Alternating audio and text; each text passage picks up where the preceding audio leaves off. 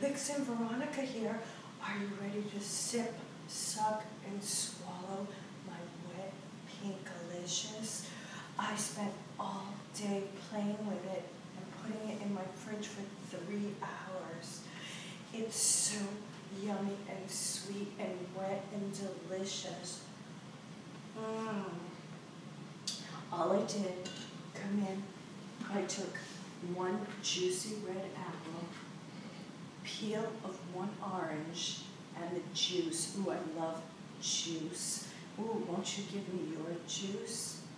And a splash of cinnamon, a few cinnamon sticks, a little shot of honey, and I mixed it together and put it in the fridge.